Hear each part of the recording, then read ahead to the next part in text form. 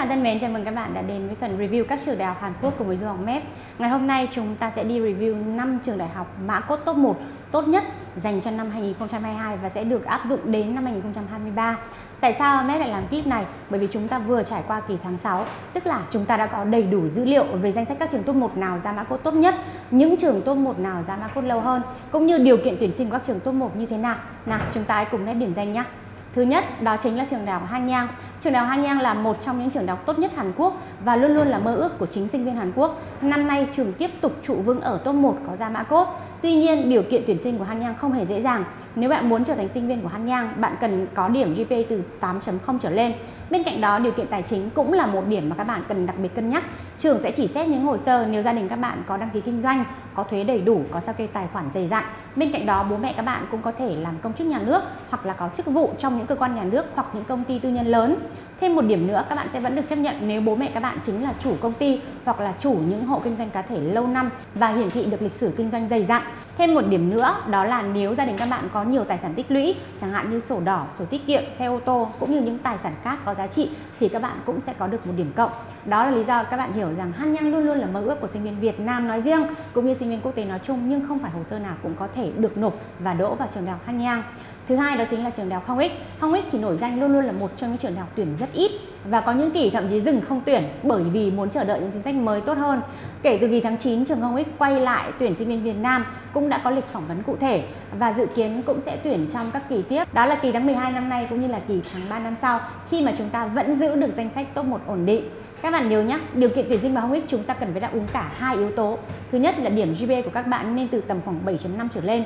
Thứ hai là tài chính của các bạn phải cực kỳ tốt. Chính vì vậy nếu những gia đình kinh doanh nhỏ hoặc là nghề tự do hoặc là làm nông nghiệp quy mô nhỏ hầu như không có cơ hội vào Hong Thêm một điểm các bạn cần phải lưu ý đó là Hong có lọc loại về hộ khẩu và vùng miền. Những hộ khẩu như là Thanh Hóa, Nghệ An, Hà Tĩnh, Quảng Bình trường rất rất ít nhận. Nếu nói là hầu như không nhận với các tỉnh Nghệ An, Hà Tĩnh và cũng như Quảng Bình. Các bạn nhớ điểm này để chúng ta không nộp hồ sơ nếu không đáp ứng đủ yêu cầu của trường nhé. Tiếp tục trong zone, chúng ta có những trường như trường đại học Con Cúc, năm nay nổi danh là một trong những trường có tỷ lệ mã cốt 100% và tốc độ ra mã cốt rất nhanh. Kỳ tháng 9 này cũng đã có sự thay đổi về điều kiện tuyển sinh. Theo đó học sinh cần phải có điểm GPA từ 7.0 trở lên, tiếp tục không nghỉ học quá 5 buổi và bên cạnh đó điều kiện tài chính cũng là một trong những điều kiện được trường rất xem trọng chúng ta cũng cần phải có những giấy tờ liên quan đến đăng ký kinh doanh liên quan đến thuế liên quan đến sao kê liên quan đến tài sản tích lũy và bố mẹ các bạn cũng nên làm những nghề nghiệp được khuyến cáo là có nền tảng gia đình an toàn ít dẫn đến tỷ lệ bỏ trốn chẳng hạn như là luật sư, công an, bộ đội, giáo viên, quan chức nhà nước hoặc là chủ sở hữu những công ty lớn tại Việt Nam. Tiếp tục chúng ta có một trường nữa, năm nay đó chính là trường nữ Túc Song, nổi lên như là một trong những trường tuyển rất kỹ, rất khắt khe nhưng tỷ lệ và tốc độ ra mã cốt tuyệt vời. Nữ túc song là niềm mơ ước của tất cả các sinh viên Việt Nam muốn đi top 1 bởi vì thứ nhất là trường có học phí rất rẻ ở trung tâm so nhưng chỉ có 5,2 triệu won. Nếu bạn có tiếng Hàn tốt thì bạn thậm chí còn có học bổng tới 500 ngàn won ngay từ hệ tiếng Hàn. Nếu chúng ta muốn vào nữ túc sang chúng ta phải đáp ứng các điều kiện sau. Một điểm GPA tất cả các năm từ 7.5 trở lên. Thứ hai, các bạn không được nghỉ quá 3 buổi. Đây chính là một trong những điều kiện khó nhất mà hầu như rất rất ít sinh viên Việt Nam có thể đáp ứng được. Do đa phần các bạn sinh viên Việt Nam nghỉ học rất nhiều và đôi khi các bạn còn không biết là tại sao mình lại nghỉ học nhiều đến vậy. Tức là nghỉ học không có lý do và không có giấy tờ chứng thực. Trường nữ túc sang của chúng ta cũng không nhận học sinh đến từ những tỉnh có tỷ lệ bỏ trốn cao, Nghệ An, Hà Tĩnh, Thanh Hóa, Quảng Bình.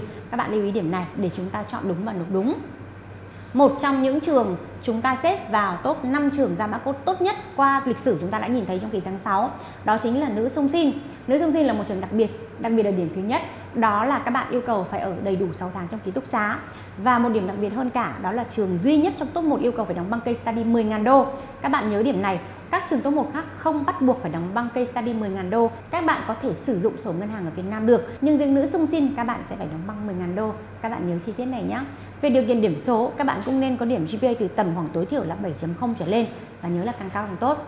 Về nghề nghiệp và tài chính, nữ song sinh cũng giống như bốn trường khác ở trong top 1 trung tâm Seoul là hầu như không nhận những nghề nghiệp tự do không chứng minh được hoặc là làm nông nghiệp nhỏ. Chúng ta cần phải có những giấy tờ để bách up kỹ lưỡng cho hồ sơ của mình như là đăng ký kinh doanh công ty, giấy tờ thuế, sao kê và các bạn cũng cần phải trải qua một phần phỏng vấn được coi là rất là khắt khe và kỹ lưỡng của trường nữ sung xin để quyết định bạn có thể trở thành sinh viên của trường hay không. Trên đây là 5 trường top 1 mã cốt có tỷ lệ cũng như tốc độ ra mã cốt xuất sắc nhất tức là học sinh không phải chờ và không có tỷ lệ trượt cốt MEP rút ra từ kỳ tháng 6 vừa rồi. Đây cũng là những trường đã khởi động tuyển sinh kỳ tháng 9 cùng với MEP. Chính vì vậy, nếu bạn mong muốn trở thành sinh viên mã cốt top 1 an toàn, trung tâm giao hoặc đơn giản là muốn chọn một trường mã cốt top 1 tốt nhất, hầu như không có rủi ro, các bạn đừng bỏ qua năm cái tên này. Han Nhang, Hồng Ích, Nữ Sung Jin, Con Cúc và Nữ Túc Sau. Nhớ nhá, năm tên này cùng MEP đến giao mã cốt top 1 thẳng là hoàn toàn an toàn nhé.